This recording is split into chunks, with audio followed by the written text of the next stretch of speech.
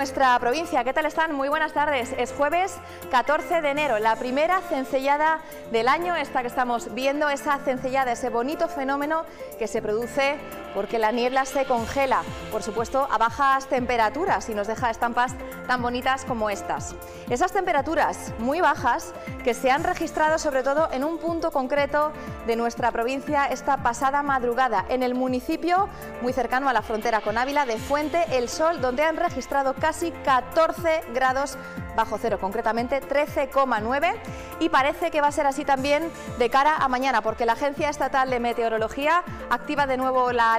amarilla para mañana hasta las 10 de la mañana por bajas temperaturas y también hasta las 12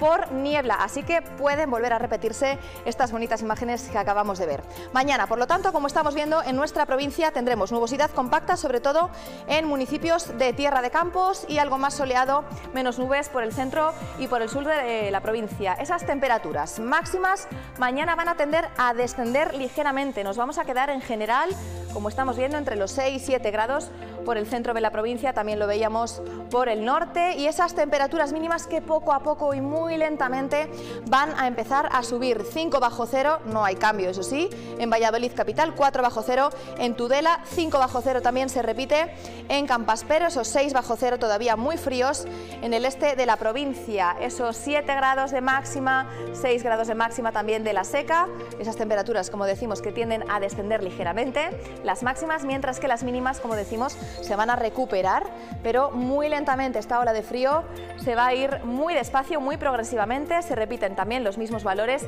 5 bajo cero en los municipios de la zona más occidental de la provincia. Brumas y bancos de niebla a primeras horas de la mañana. Frío da como resultado esta cencellada que hemos tenido hoy y que probablemente tengamos mañana. 7 de máxima, menos 5 de mínima, valores correspondientes a Valladolid capital. Y de cara a los próximos días, los valores se van recuperando, menos 5, menos 4, menos 2, eh, menos 2 y esas máximas que también van subiendo, como decimos, muy poco a poco. A finales de esta semana y a comienzos de la próxima parece que las temperaturas nos van a ir dando poco a poco, como decimos otra vez, un ligero respiro, al menos esas máximas, bueno, pues parece que van subiendo ya hasta los 10 grados. Se lo contaremos aquí, por supuesto, en el tiempo de la 8. Terminamos ahora con unas espectaculares imágenes como las que hemos visto al principio, las que nos han enviado ustedes a nuestro número de WhatsApp. Son imágenes también de cencellada que se han apresurado